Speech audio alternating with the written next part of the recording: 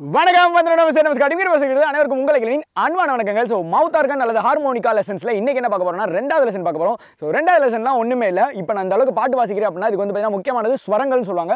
அந்த ஸ்வரங்கள் எங்கிருந்து ஆரம்பிக்கும் அப்படின்னா சாரி காமா பாதா நீசான்னு சொல்லிட்டு வந்து எட்டு ஸ்வரங்கள் இருக்குது ஸோ அந்த எட்டு ஸ்வரங்களில் வந்து பார்த்தீங்கன்னா சா அப்படிங்கிற ஒரு ஸ்வரம் வந்து பார்த்தீங்கன்னா இந்த பத் நாற்பத்தெட்டு ஹோல்ஸ் மவுத்தார்கனில் எங்கே இருக்கும் அப்படின்னு கண்டுபிடிக்கணும். அதை கண்டுபிடிச்சி தான் ஃபஸ்ட்டு சா வந்து பழக போகிறோம் ஸோ அதை கண்டுபிடிக்கிறதுக்கு என்ன பண்ண போகிறீங்கன்னா இப்படி மவுத்தார்கன் இப்படி வச்சிங்கன்னா ஸோ இந்த மாதிரி பற்றி பிடிச்சிக்கோங்க. லெஃப்ட் சைடில் இருந்து ஒ- எட்டு ஓட்டையை விட்டுட்டு ஒன்பதாவது ஓட்டையில் ஊதுனீங்க அப்படின்னா